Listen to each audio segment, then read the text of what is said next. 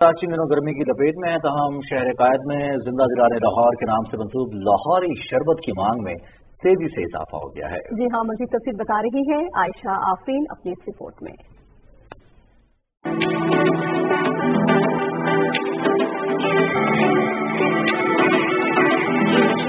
गर्मी से बेहाल शहरकाइद के बासी अब गन्ने के रस और ठंडे मशरूबात के साथ साथ मज़ा ले रहे हैं लाहौरी शरबत का जिसको पीने वाले तारीफ़ किए बगैर नहीं रह सके। बादाम का शरबत इनका बहुत मशहूर है यहाँ पे हम लोग बराबर में ही है पीते रहते हैं। शरबत बहुत अच्छा है इनका ये मशहूर शॉप है इनकी लाहौरी शरबत के नाम से। हाँ, ये शरबत इनका बहुत अच्छा होता है बिल्कुल साफ़ सुथरा है हम तो पीते कभी गला वाला आपका जो है वो खराब नहीं होता है। सबका अपना अपना यूनिक टेस्ट होता है। इनका भी अपना एक यूनिक टेस्ट है।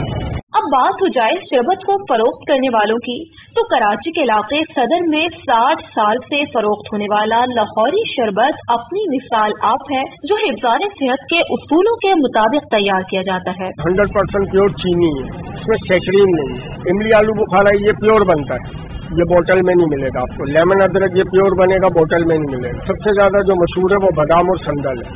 आलू, बुखारे, बादाम, नींबू के शरबत के साथ दूध का शरबत, लाहौरी शरबत का खासा है। यूँ तो ये शरबत लाहौर की पहचान है। लेकिन शहर अकाइब के बासी गर्मियों के मौसम में इस शरबत से खूब लुत्फ उठाते दिखाई देते हैं। Ayesha Pakistan television news, Karachi.